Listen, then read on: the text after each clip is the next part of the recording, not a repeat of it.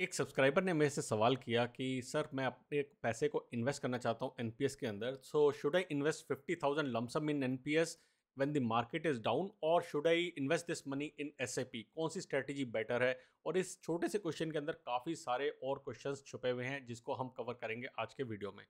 सबसे पहले बात करते हैं एनपीएस की। तो एनपीएस के अंदर अगर हम टैक्स बेनिफिट की बात करें तो तीन तरीके के टैक्स बेनिफिट मिलते हैं। वीडियोस इसके ऊपर डेडिकेटेड बनाए हुए हैं तो आज के वीडियो में कवर नहीं करेंगे, लेकिन अगर हम सबसे इंपॉर्टेंट और सबसे इंटरेस्टिंग टैक्स बेनिफिट की बात करते हैं तो वो मिलता है eighty C C D one B के अंडर जहाँ पे आप पचास हज़ार रुपये को इन्वेस्ट करके एक्स्ट्रा टैक्स बेनिफिट पा सकते हैं। एक्स्ट्रा का मतलब 1.5 लाख की लिमिट रहती है सी के अंदर, और eighty C C D one B ये 1.5 लाख की लिमिट को बढ़ा के टू लाख की कर देता है। तो इसलिए ये इंटरेस्टिंग आस्पेक्ट रहता है।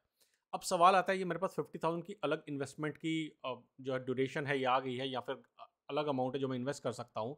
इस अमाउंट को क्या मैं एक बारी में इन्वेस्ट कर दूँ या क्या मैं एसआईपी के अंदर इन्वेस्ट करूँ? लेकिन उस आंस इस क्वेश्चन को आंसर करने से पहले ये देखते हैं कि lump sum versus S I which strategy is better और उसको भी आंसर करने से पहले ये देखते हैं कि लमसम वर्सेज एस इनका मतलब क्या है? लमसम का अगर हम हाई लेवल पे मतलब देखें तो लमसम का मतलब है कि एक मुश्त राशि यानी कि एक बारी में पैसे को इन्वेस्ट करना। एसआईपी का मतलब है सिस्टमैटिक इन्वेस्टमेंट प्लान यानी कि एक पर्टिकुलर ढंग से आप पैसे को रेगुलरली इन्वेस्ट कर रहे हैं तो उसको आप बोलेंगे एसआईपी लेकिन अगर आप इसको सिंप्लीफाइड लैंग्वेज में देखें तो S I P is nothing but lump sums at a regular period of time that is what it is और ये लमसम अमाउंट जिसको हम बोलते हैं कि काफ़ी बड़ा अमाउंट हो सकता है ये किसी के लिए काफ़ी बड़ा अमाउंट हो, लेकिन किसी और के लिए काफ़ी छोटा अमाउंट हो। एग्ज़ाम्पल के तौर पर लेके चलते हैं कि किसी ने पूछा कि मेरे को ये पचास हज़ार रुपये इन्वेस्ट करने हैं, ये मुझे लम, लमसम की तरह करने हैं, एक बार मैं करूँ या मैं चार चार हज़ार रुपये की एसआईपी करके इसको forty eight thousand rupees invest करूँ मैं ओवर द ईयर हो सकता है कोई और काफ़ी जिनके पास पैसा है, वो ये सोचते हैं कि मेरे पास पचास हज़ार रुपये की तो मैं एसआईपी कर देता हूँ उनके लिए हो सकता है लमसम का अमाउंट बने पाँच लाख रुपए की। मैं पाँच लाख रुपए को लमसम इन्वेस्ट करूँ या पचास हज़ार रुपये की मैं एस आई पीज करूँ। So it is relative right हम लमसम किसे बोलते हैं और हम एस आई पी किसे बोलते हैं? इट इज़ रिलेटिव इसका कोई राइट एंड रॉन्ग आंसर नहीं है कि किस अमाउंट को हम बोले कि ज़्यादा अमाउंट है और किस अमाउंट को हम बोले छोटा अमाउंट है। अब आते हैं इस सवाल के ऊपर कि एस आई पी की स्ट्रैटेजी बेटर है या लमसम की स्ट्रैटेजी बेटर है? अब स्ट्रैटेजी को डिसाइड करने से पहले हमें ये देखना है कि हमारा टाइम होराइजन कितना है। क्या मतलब है इस बात का? देखिए मतलब यह है कि अभी हम बैठे हैं ट्वेंटी ट्वेंटी टू के अंदर। अगर आज से आपकी, अगर आज आपकी डेट, एज जो है वो है थर्टी ईयर्स की और आपको मालूम है कि एनपीएस की जो मेच्योरिटी है वो होती है सिक्सटी ईयर्स में, यानी कि आपके पास तीस साल का टाइम फ्रेम बचा हुआ है। अब से लेके तीस साल के बाद, यानी कि दो हज़ार बावन के अंदर मार्केट कहाँ होगी? ऑफ़ कोर्स अगर हम इन्वेस्ट कर रहे हैं इक्विटी रिलेटेड इंस्ट्रूमेंट्स के अंदर तो हम ये एक्सपेक्ट करके चलते हैं कि मार्केट आज से ऊपर ही होगी। तो आज से तीस साल बाद मार्केट के अंदर जो जो भी उतार या जो भी अप अप आएगा और हम कंटिन्यूसली उसके अंदर इन्वेस्ट कर रहे हैं तो आज का अमाउंट उसके आगे काफ़ी छोटा अमाउंट होगा। हाँ अगर मार्केट डाउन है आपने इन्वेस्ट किया तो थोड़ा ज़रूर फ़र्क पड़ेगा लेकिन इस बिगर पिक्चर के अंदर आज से लेकर दो बावन के पिक्चर के अंदर ये अमाउंट ज़्यादा डिफरेंस आपके ओवरऑल पोर्टफोलियो में नहीं लेके आएगा। Zero point one zero point five percent से ज़्यादा का वेरिएशन नहीं लेके आ पाएगा। सो so, इतना टेंशन लेने की ज़रूरत नहीं है इतना सोचने की ज़रूरत नहीं है आप पैसे को इन्वेस्ट करना चाहते हैं that is very very important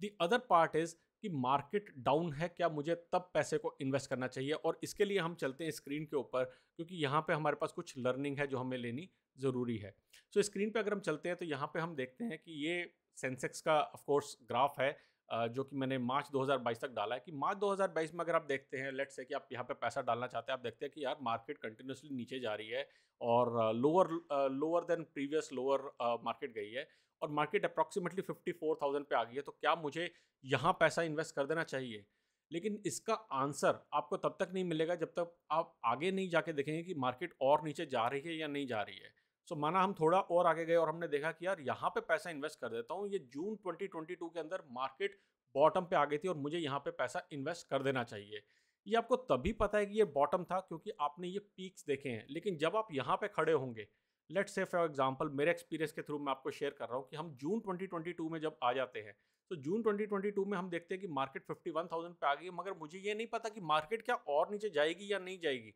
तो अगर मुझे ये नहीं मालूम है कि मार्केट और नीचे जाएगी, नहीं जाएगी तो मैं कैसे डिसाइड कर सकता हूँ कि ये लो बॉटम आ गया मार्केट का कि नहीं आ गया उस केस में हम कैसे ये डिसाइड करें कि मार्केट डाउन है और मुझे पूरा पैसा इन्वेस्ट करना चाहिए? तो मेरी पर्सनल स्ट्रैटेजी उस केस में रहती है कि पचास हज़ार रुपये अगर मुझे डालने हैं तो मैं उसका एक पोर्शन अभी डाल दूँगा। लेट्स एज्यूम मैंने देखा कि जो पीक था, वहाँ से मार्केट ट्वेंटी परसेंट नीचे आ गई या टेन परसेंट नीचे आ गई है तो मैं अपने टोटल अमाउंट जो मुझे इन्वेस्ट करना है, उसका twenty twenty five thirty forty percent जो भी मेरे, मुझे लगेगा ठीक है, वो इन्वेस्ट कर दूँगा, बाकी थोड़ा सा मैं छोड़ के रख लूँगा। उसको, बाकी अमाउंट को कुछ टाइम के बाद इन्वेस्ट कर दूँगा, अगर और नीचे जा रही होगी तो भी, और अगर नीचे नहीं जा रही होगी तो भी। और ऐसा क्यों करूँगा? क्योंकि मार्केट अगर नई नई पीक्स बनाती रही उसके बाद में फॉर एग्ज़ाम्पल अगर हम वापस स्क्रीन पे जाते हैं कि आपने यहाँ पे जून में अगर पैसा इन्वेस्ट करना था और यहाँ पे कुछ पैसा इन्वेस्ट किया उसके बाद अगर मार्केट यहाँ पहुँच गई सिक्सटी थाउज़ेंड पे तो हमें लगेगा यार हमारी तो अपॉर्चुनिटी मिस हो गई बीच में कहीं पे भी इन्वेस्ट करने की। इसलिए हमें एंडलेस वेट नहीं करनी चाहिए कि जब मार्केट पूरा का पूरा नीचे चला जाएगा या पूरा पूरा ऊपर चला जाएगा क्योंकि हमें पता ही नहीं है कि नीचे क्या है और ऊपर क्या है। सो so, मेरी आइडियल स्ट्रेटेजी रहती है कि यार आप एसआईपी से करो और लमसम अगर अमाउंट आपके पास आ भी गया है लमसम आपको इन्वेस्ट करना है